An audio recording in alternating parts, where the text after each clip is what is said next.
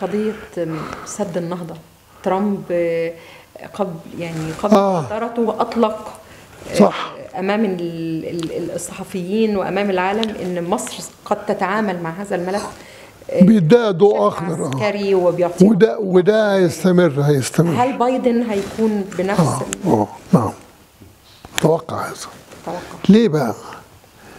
لأنه مصر هي مفتاح المنطقة كلها وسواء جمهوري أو ديمقراطي يدرك ذلك. في اللي بيدرك ذلك وبالتالي آه، يترجمه إلى إجراءات وسياسات محددة وفي الذي يعلم ذلك لكن لا يهتم بالتفاصيل. أنا أعتقد إنه بوجود باميلا هاريس مع بايدن سيهتم بهذا الملف واهتمام منصف.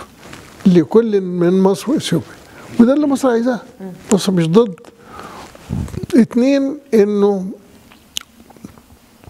إحنا محتاجين لتكنولوجيا آه تحلية المياه على نطاق واسع. آه، في ملف الناس مش مدركاه اللي هو ملف المية في فلسطين. تلاحظي من كام سنة كده كان في كلام كتير عن تحويل إسرائيل لمجرى نهر الأردن والاستحواذ على المياه إلى آخره. الوقت إسرائيل بتعتمد اعتماد كلي على تحلية المياه.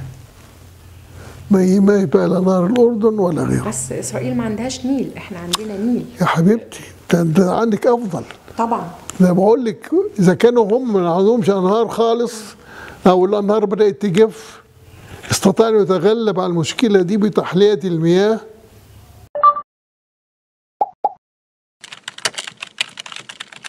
you